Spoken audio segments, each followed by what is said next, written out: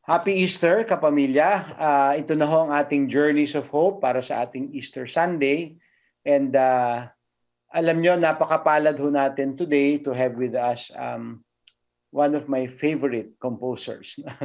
and uh, background lang, um, her song always was very close to my heart no? because uh, in 1995, we had the World Youth Day here in the Philippines wherein dumating si Pope uh, Saint John Paul II. No? And and the theme song of that World Youth Day was "Tell the World of His Love," no? reminding our the world, uh, the the youth of the world na yun yung mensahe ng Panginoon. That is the message of Christ. No, it's extra meaningful to me because that was the year I came back. A few days before the Pope arrived, I came back also from studies to become principal. And then the following year, 1996, when we celebrated the centennial, ano, not the centennial, but the one, ah, tama, the centennial of the assassination or martyrdom of Rizal, the high school really, ano, um, gave this buong eskwelahan, lumabas do sa program, re, parang reenacting the history of the country. And the and the final scene of that uh, that human tableau was the coming of the Pope and the closing song of the entire two and a half hour extravaganza involving 2,000 students was Tell the World of His Love. And now, after 25 years, we have the silver anniversary um, rendition or, or version of Tell the World of His Love. So today, on for our Easter Sunday reflections and journeys of hope, we have with us the composer, the singer of Tell the World of His Love, Miss Trina Belamide. Trina, welcome. Father Tito, hello. It's so good to see you and hello sa ating mga kapamilya. Thank you for having me. Oh, no, thank you for joining us. It's such an honor to to have you with us, ano. And um, you know, I I thought Rina ang gandang ang gandang Easter reflection is is to reflect really on the song, ano. Um, because I think the the the the Bible verse that you chose in composing the song probably one of the most quoted, no? And it's a, a very, kumbaga siya yung gist ng ating faith eh. Diba? God so loved the world that He gave us His only begotten Son. Diba? Baka you can share your story of how that song came about and and even, I guess, a very beautiful story, how the 25th anniversary version came about. No? Yeah. So, well, regarding the song and how I came to write it, mm-hmm. um, uh, it was a contest back in 1994, actually, in preparation for World Youth Day 1995. Uh-huh. Um, so there was this contest by CBCP uh, to look for the theme song of uh, World Youth Day 95 because Pope John Paul II, now Saint, uh, was going to come to Manila for World Youth Day. So meron silang pa-contest.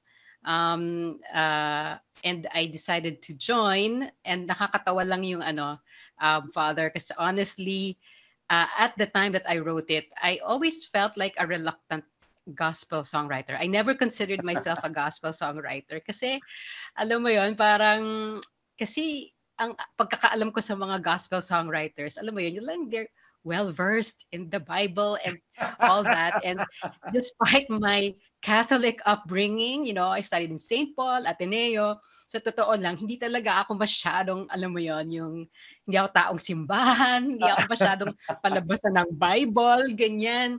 So uh, it's funny because um, um, my intentions for joining the contest were uh, less than noble kasi gusto ko lang manalo ng premyo, Father. Ang premyo niya, ano, trip to Rome for two, ganyan.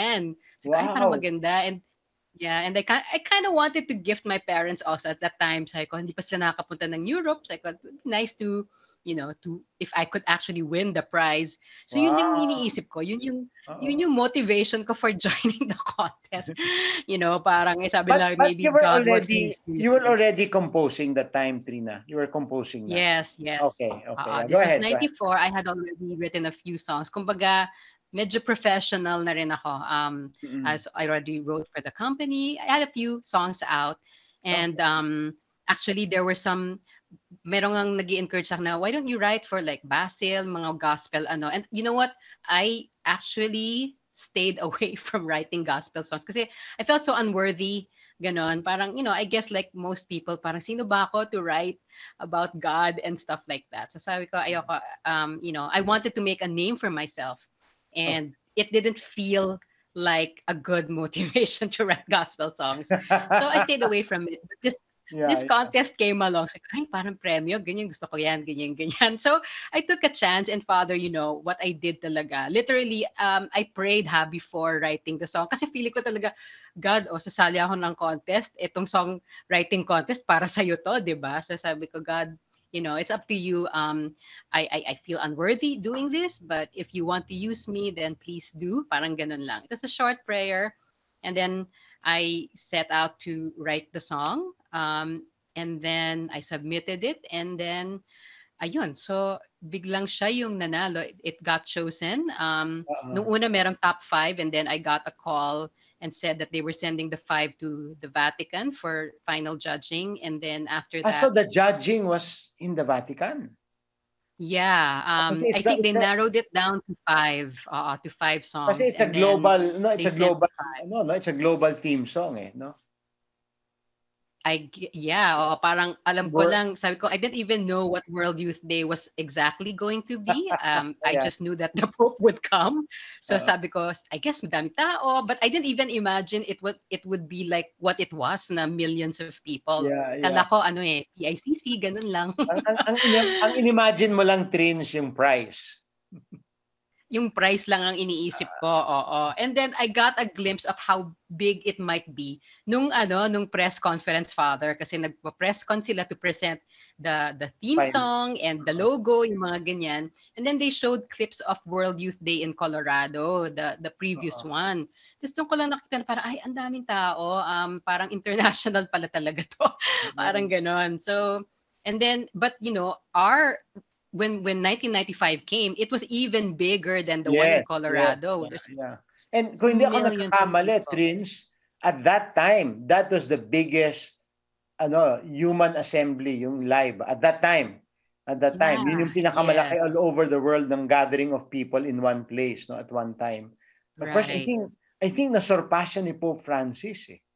When Pope Francis came also. Talaga ba? I think that's what I know. Okay, please continue with your story. Sorry for the distractions. Yeah. So um so it was life changing for me because I I felt parang sabi ko si, si God talaga ah, iba rin mag ano no when he they say he works in mysterious ways kasi you know as this reluctant ano parang and even when I wrote the song I mean okay meron namang theme as the father sent me so am I sending you so my Yes, approach to writing it that, was oo. very technical di ba parang from a professional songwriter's perspective ganyan father nakaka, nakakatawa at medyo nakakahiya kasi yung John 3:16 hindi ko masyadong alam. Parang I knew it was in the Bible somewhere and I wanted to quote it. Sabi ko, anong part na nga ng Bible yon Ganyan, nakakahiya, di ba? Para, but you know, Excuse me, they, they, they gave you the the verse. They gave the no, not, well, they gave me, they, they, the theme. the, theme, was As the Father Sent Father Me, Sent Me, so am oh. I sending you. That was the theme, oo. So, Oh, I had okay. to build around that. So parang, okay, so I guess, so pinrasis ko ano ba ibig sabihin ng theme. And then I wanted to start the song by saying, as the Father sent me. So, so God and Jesus, so sabi ko, ganun sabi ko, saan na nga yun sa Bible? Hindi ko mahanap. Pero, but I guess my Catholic upbringing, sabi ko, it's somewhere there. So, so, so I included that. So parang very technically approach ko. Verse one is, as the Father sent me. Verse two is, so am I sending you. And then the chorus, like I wanted a title. As a songwriter, that's my approach kasi. I'm a title, title first songwriter. So it's like I wanted to summarize the whole theme in one sentence. So tell the world of his love. Tell the world. You go out there and tell the world of his love. So me, for me, that's what, you know, that says it all. So, um, and then it, I guess it worked kasi nagustuhan nila. And then and then okay, so so it was you finally were able to compose it. And then so you you heard you were among the five finalists, no? So from that point Yes. on, how was the how was the journey na? Nung ah, wow. Final Nung five napili ako. na siya. Oo. And then Yeah, when you won, first- di ba? How did you feel when you won? Right. oo. The final five, they told me about that in 94 pa lang. 1990, kasi that contest was in 94. I can't remember how many months it took for them to judge. And then they called me and said, okay, you're in the top five. We're sending the five to the Vatican. Doon ako kinabahan kasi parang, Totoo na to. Totoo na to. Totoo na to. Kasi there were 85 entries. So parang ako, wow. medyo suntok sa buwan. So mm. uh, I didn't even know how many entries. I'm like, okay, let's just join. Let's see what happens. And, you know, I had never really jo- won any major contest before. So mm-hmm. parang sobrang baka sakali lang. So when I got that call and they said, okay, it's in the top five, we're sending it to Vatican, they will choose kung sino yung number one. Doon ako kinabahan. Parang it got real at that at that mo- moment. Uh-oh. And then sabi ko, yun na talaga sabi God, uh, bahala ka na. I mean, this is yours. It's like, this is your contest, you know? So that, I mean, that, bahala that, ka na. That's when it became more deeply, more deeply a spiritual journey for you at that point. I guess, yeah, I guess so. It, it became a deep spiritual journey when I got chosen because initially, yay, I won the prize. I mean, parang ganun lang. But it became so much more than that because um, for me, what gets me all the time is like why why me? Parang um and then and then the song became so much bigger than you know the prize became the smallest part of, of the, the yeah of the of journey. the whole thing. Parang baliwala baliwala compared to everything else because um um people you know i was you know invited to to do talks and stuff and talk about the journey. And and father i could i can only speak from a point of honesty, 'di ba? Parang mm-hmm. kasi hindi naman ako pwede magpanggap na siya, you know, hindi uh, pwedeng for press one. release, ano? Oo. Yeah, oh. So I always so I always tell this story about how reluctant I was and uh, uh. how I prayed and God chose me for I don't know what reason, but um for me the journey um after that all these years has been um, God surprising me with many things. Yung hmm. hindi ko inaasahang mangyari, yun yung nangyayari. And then there are many things also na pinagpipilitan kong mangyari na hindi nangyayari. So I think si God, meron siyang sarili niyang plano talaga. And uh and it's been a great ride for me because um, if there's anything I've learned because of Tell the World of His Love and it, all the other things that have happened in my life, I think for me, it's that God talks to us individually in special ways. I think really individually, meron siyang dynamic with each of us, yes. with each one. With me, um, I think he likes to surprise me and hmm. it's almost Twilight Zone-ish. parang ganun yung approach niya sa buhay ko. Hindi ka panipaniwala. Ang mga moments na parang, oh, mga ganun at hiririring, ganun. Sabi ko talagang, uh, I guess that's what he knows will work for me uh-huh. and um and it's made me a more grateful person and i uh-huh. think yung gratitude attitude uh it's something that has come about or i don't know parang siguro um maraming bagay sa buhay ko ang nagturo sa akin maging mas grateful and it has okay. worked for me i suppose with other people with each you know individual siguro meron siyang ibang way then if talking mm. to other people but but I really believe that that he, you know he he really meron tayong sarili-sarili nating journey yeah yeah and um and it differs for everyone and I can only share mine and you know it is by no means um you know something that ito yung dapat mong gawin or ito yung dapat mong gawin. But yeah, yeah, sinishare ko lang, ito lang yung nangyari sa akin. Yeah, and yeah. all it has done is made me believe that really he is very much involved in our lives. He's very much a part of our lives. Yeah, and yeah, yeah. and grateful ako kasi nakakapagbigay ng hope sa tao. Parang hindi ko in-expect na ganun kalaki yung song. Oo, yeah, talaga. yeah. And and then it has it has retained its its inspirational power through 25 years through 25 years no? Of course si Trina knows that I am uh, I can actually put up a fans club for the song kasi uh, Trina also is part of Ateneo Chamber Singers no? And and yes. I think at least two or three or sometimes four times a year I invite them to sing in my formation center And every Yes. time they come, they'll ask me, anong final song? Tell the world of His love. Tell the world of His love. So, Pag nandun ako, naku, ayan na si Father. Oo, di ba? Tell the world of His love na yan, di ba? So, Oh. yeah, but, but Yes. really kasi, Trins, it's, it's such an inspiring song eh. Eh, Really na. Kasi when you think about it, and coming from your kwento na, uh, you know, let, let me let me give a brief introduction to what I want to say. ah. I am sure that yung nararanasan mo ngayong relationship mo sa Diyos, nabubuo yan through the years eh. Kasi ako naniniwala, God is very consistent, very constant. And He works in our life through patterns. No? Hindi, yes. ang Diyos hindi pa bugso-bugso yan. Eh. May plano yan eh. And of course, as we're growing up, ako, hindi ka maniniwala, uh, Trins, when I was in high school hanggang college, hindi ako nagsisimba. Talaga? Yeah, I didn't go to Sunday Mass. It's just that I prayed. Yeah, I wasn't a bad person, but eh, because that was part of my family, you Really? know, na, but you know, all along, Yeah. may plan. And now it's, when I look back, I realize if there's one thing that I, that's keeping me in the priesthood, and if there's one thing I want to propagate, it's love for the Mass. And to think that by around fourth year high school, third year, Amazing. hindi ako nagsisimba pag Sunday, all the way through fourth year college. Totoo. I just went back to mass fourth year college, no? But but alam mo may plano ang Diyos Wow. Prince eh. And I think yung kinukwento mo nga na yung relationship mo ngayon sa Diyos, that was brewing through the years. Parang naging Mhm. naging turning point or pivot point si Tell the World of His Love, di ba? And and and I guess It's yes, like a gift. I really feel the song was a gift to me. It's Yeah. it's not I don't feel like I, it feels more like he was the one who I don't know, strangely wrote and parang oh here put your name on this. Parang Yeah. ganon more than it was my doing. Parang yeah. um yeah, it's a great reminder of uh of his Yeah, 'di ba? In laging sinasabi ni laging sinasabi ni ng Jesuit spirituality ng ating common ano is we are instruments in the hands of God, 'di ba? Parang ganon, 'di ba? And and Yes. tama yung sabi mo na each God will deal with us in a very personal way.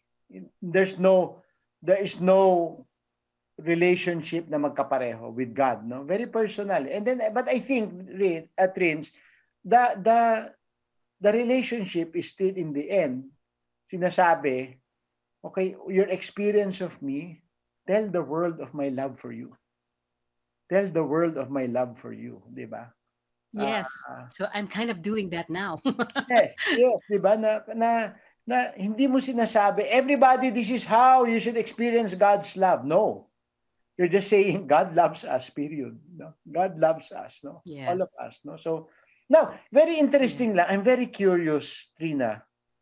The 25th anniversary version. Kasi, you know, the first time I saw it, I didn't even know there was a new version, ano?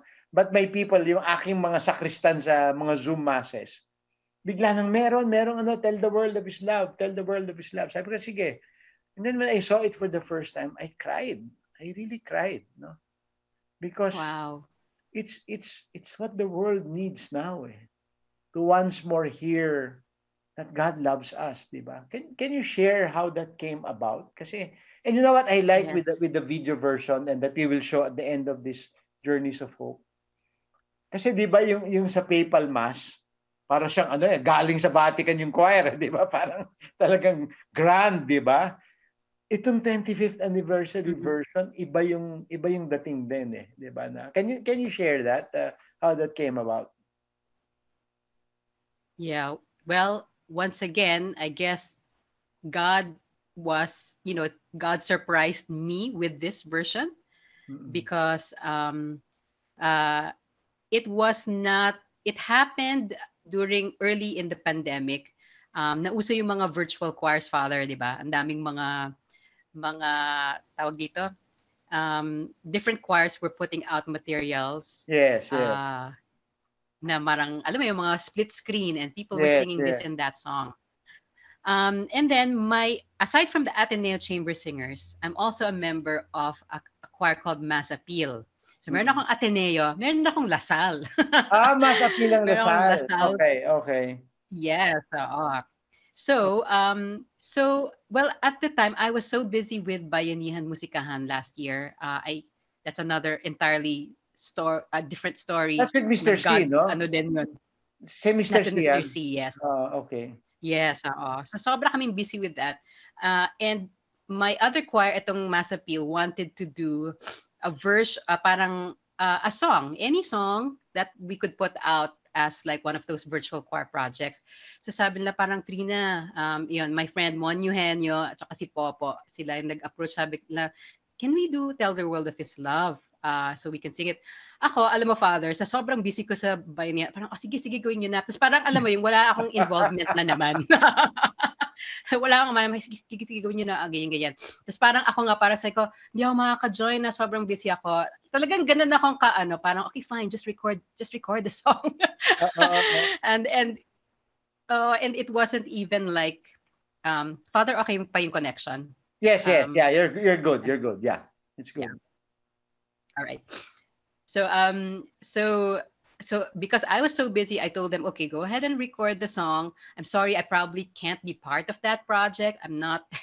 I was so detached from it. So the, they went ahead and recorded all the different tracks, and then at some point, Simon said, um, "You know what?" Sabi niya, "Do you think you can make an extra verse, um, something that will really connect it more to what's happening at this time?" Mhm. Although sabi namin, meron namang connection kasi when you talk about tell the world of his love and you think about the frontliners and the people who are being you know generous with their time and resources that is how they are telling the world of his love di ba parang relevant pa rin pero parang sabi nila baka you can put a verse that that makes it even more parang connected so so I added a verse um so you'll you'll see that in you hear that in the song uh, Mm. na mas mas lalong ano, mas lalong solid yung connection. And then they recorded it and then sabi nila, Tina, sali ka naman kahit last frame man lang sumali ka. Parang ganyan.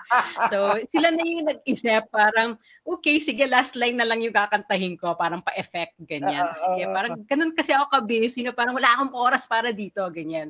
So, so you'll see. So kaya naging parang cameo na lang yung appearance ko dun sa huli. Na Oo, so parang may impact naman yata. But um but yeah, they recorded everything and then it was really the choir that put everything together, the visuals. Um uh the one who edited and uh who did the the video most of it and gathered a lot of the visuals is Direct Paolo D. Um, who is the director of Ignacio. Um, ah, yes, So yes. actually- I remember. Yes, yes. yeah, Oo, oo. The because Savior, and how that came about was Savior si Paulo, di ba? yes, oo. Yes, I think so. Oo. Yeah. Tsaka yun nga, yung Ignacio, siya yung direct, he's an award-winning director. Yeah. Um, and the, how that happened was his wife, Kathy, is a member of our choir. So she was Mm, um, part of the whole project.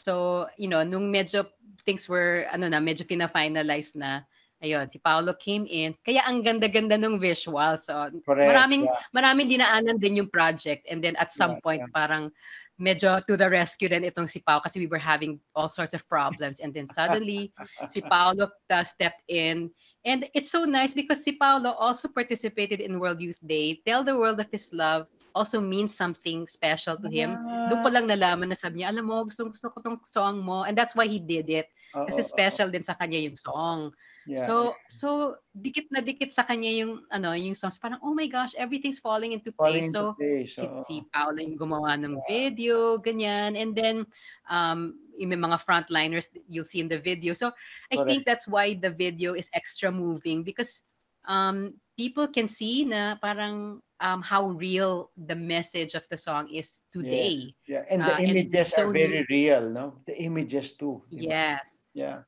Yes, you know- parang ang galing nga nila sila na yung nagtali nung from the start, 'di ba? Parang World Youth Day Youth 25 Day, yeah. years ago up to the present. So that was all their concept. I had very little I had nothing to do with it. I was just the one who sang at You the were- end. No, you were an instrument again in God's hands, no? Yeah, yes, well- well- instrument. Well, maybe, no, trains to introduce the song and to tie it up with the resurrection, no? Uh, we need to remember Right. that the resurrection is life, di ba? And when you say life, Yeah. any creative act that brings inspiration into the world is part of the grace of the resurrection. So 25 years ago, this song really brought so much love into the world. No? Kasi ang daming taong naka-identify with it and through the 25 years. And I think the Lord also, there are no accidents in God's plans, Trina.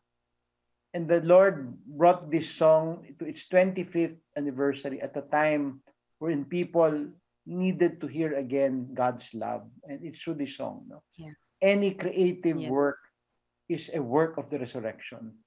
So with that, friends, thank you very much for joining us for this Easter Sunday episode. And and we hope to have you we're gonna we're actually ito plug na ko ha tsaka ano na to recruitment we're planning a 500th anniversary um concert with star star music no so we will we will Oh, Ask- okay. we will already invite you to feature tell the world of his love in that concert so again Of course.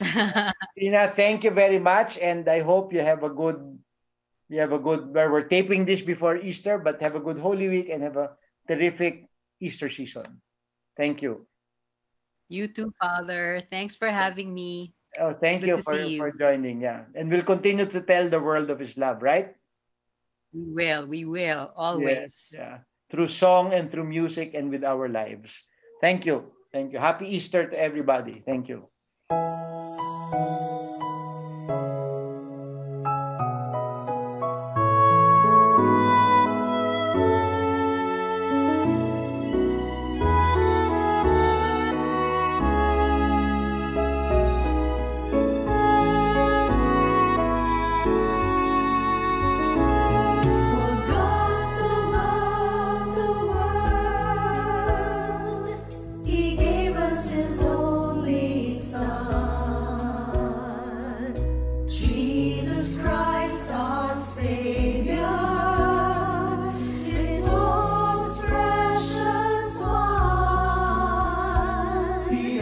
Sent us his message of love